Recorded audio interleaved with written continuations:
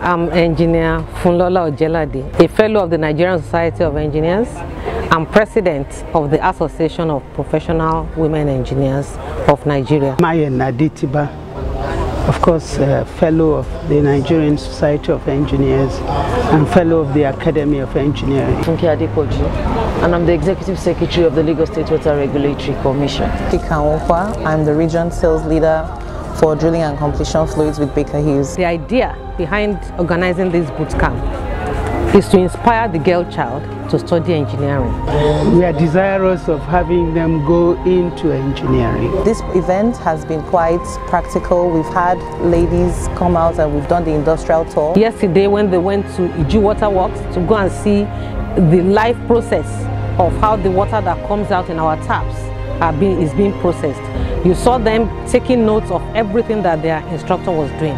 So I believe that they have actually internalized this. We've taken a look at real life scenarios. We've had them in industries to see the processes through which cleaner water can be achieved. You can't imagine a day without water.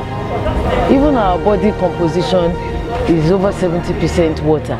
So that means that water is everything. And we've also done a hands-on experiment in, in the work during this workshop uh, just to give them, you know, an idea of how things can work. See that we have taken girls from JSS 1 and JSS 2. A company like Baker Hughes is heavy in invested in diversity and inclusion and part of our goal to, to, make, to make this a reality is to get more females involved. To study engineering because as an association our number one mission is to increase the number of women that are practicing engineering and we start from here to inspire them first to study the, the, the course and then to practice it when they graduate.